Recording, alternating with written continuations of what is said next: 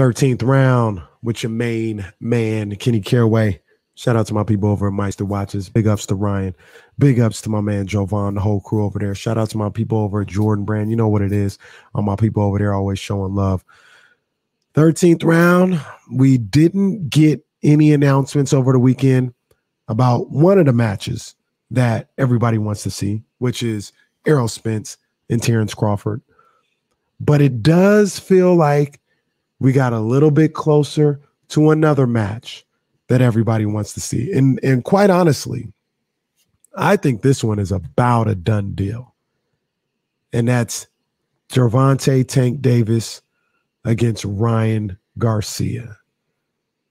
Both of these guys on their instant Instagram pages had, you know, posts of, you know, do you want to see this fight? Or it was like real cryptic, right? Like Gervonta on his on his page had a picture of him, Ryan, kind of like in a, a, mocked up face off or something like that. And he said something about you, you whisper when you speak about me and all this other stuff.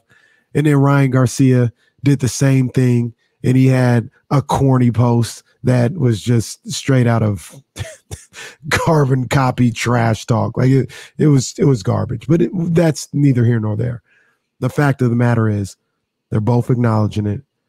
They're both looking like they're going in that direction. I think that fight happens.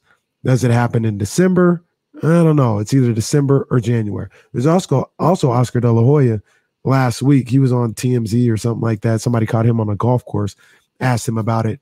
He said, "Yeah, it looks like that fight's going to happen in January." We all know Oscar lies routinely, so you can't just take that to the bank. But there's enough going around right now that tells me that fight's going to happen. And I've been told you that's a top three, if not biggest fight in boxing today. Tank versus Ryan is one for the ages right now. I love to see it. I hope it happens. Let's just sit back and wait. It's the 13th round.